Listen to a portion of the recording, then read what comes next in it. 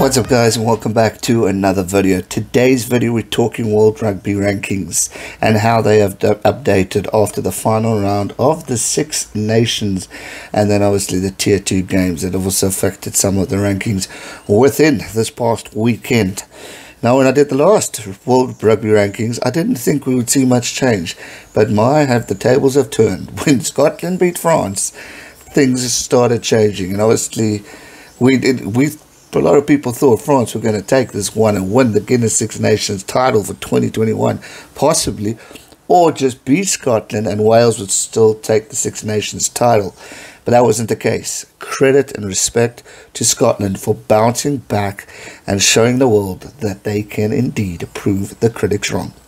It was an exciting game, it was an intense game, it was a nail biter, but Scotland prevailed and have indeed improved their World Rugby rankings this past weekend.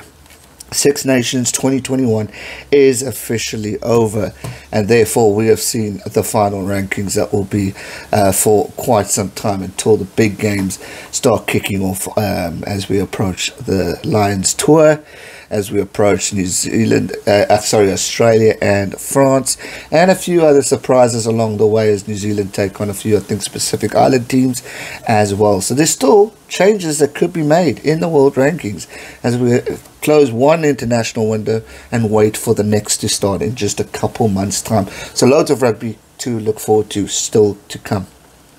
If we look at some of the changes this weekend, we saw Portugal go up three places from 24 to 21st in the world ranking, so they are just short of breaking the top 20 mark. England, after not even playing a game, they go from fourth to third. So, although their Six Nations rankings isn't looking good in fifth place, they at least went from fourth back to third, and that is due to the fact that Scotland beat France this past weekend. By Scotland, who are dropped lower in the world rankings, they were ninth. By beating France, obviously gives France a hell of a drop, and therefore they lost two spots in the rugby rankings. But before we get there, Ireland also shifted up from fifth to fourth, so they continue to rise, which is great for Ireland. Andy Farrell will be, be happy with that, even though the campaign wasn't as good as what they would have wanted. But it definitely shows Ireland are improving and moving up. Scotland moved from ninth to eighth position, um, so they'll be happy with that. France going from third to fifth after their loss to Scotland this past weekend. Argentina also moving down the rankings because of Scotland uh, moving up. So they are now ninth when they were eighth. Hong Kong moved from 22 to 21. Canada moved from 23 to so sorry from 22 to 23. Uh, Hong Kong was 21 to 22, and Namibia have dropped as well, 23 to 24. So the top teams are still South Africa, New Zealand, followed by now England in third place, Ireland in fourth, France in fifth. They'll be disappointed about that. Wales stick to six, and nothing really changed with that outcome. Obviously, they didn't play this past weekend, but still interesting statistics there. Um, and Australia remains seventh. Scotland go from ninth to eighth, as I said, and then Argentina nine, and Japan remains in ten. World rugby rankings are indeed confusing as not many people understand it because obviously it's chopping and changing. South Africa haven't played since 2019 yet they're still number one.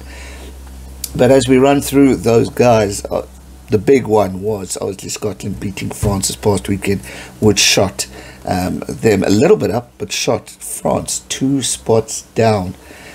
It was an interesting Six Nations tournament, and I've got a recap video coming after this one, so make sure you hit that subscribe button um, of the whole tournament. What a conclusion! What a way to end um, a tournament that was filled with challenges and issues with COVID 19. Um, obviously, it's a massive thing for the guys to to deal with the situation of no crowd. I mean, that must be a massive impact for the players around the world. So it's a big one for them, but they'll be able to bounce back strong, be be positive and, and know that at least we got a tournament finished with one little hiccup, but we managed to get that game back within the tournament and we ended off. Did that game affect the tournament at all, France versus Scotland?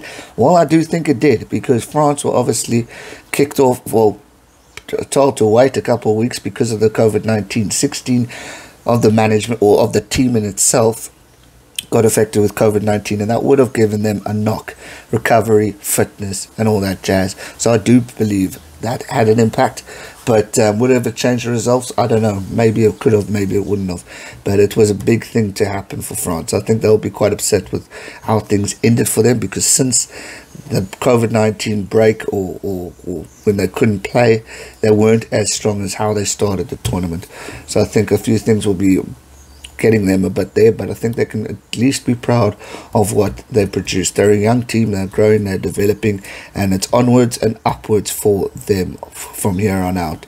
So we'll have to wait and see what happens as the 2021 season continues later this year loads more rugby to look forward to. A lot of excitement in the air as we finish the tournament. Obviously, no more international rugby for a bit, but we've got the Rainbow Cup to look forward to. We still got the Rugby Championship later this year. Lions Toys confirmed in two months' time, and other international games for us to look forward to. But also Super Rugby Aotearoa and Super Rugby AU is still underway. So loads more to look forward to. So don't go anywhere. Hit that subscribe button, and I'll see you guys along this journey. It's been a cracking one, and thanks for the support in the Six Nations. Don't go anywhere. I've got a whole recap video coming for you soon, and uh, yeah, it's been an interesting one. Well done to Wales for winning the 2021 Six Nations title, um, and to the other teams, hard luck, but pick yourselves up and we'll see you soon next year in the 2022 season of Six Nations Rugby. It is called the greatest rugby tournament for a reason and they produced the results under the circumstances. So well done to all the European teams for entertaining us with quality rugby. That's going to do it for today's video. I Hope you guys enjoyed it. Give it a thumbs up, subscribe if you're new, and I'll see you soon for another one. Stay safe and never give up. Cheers.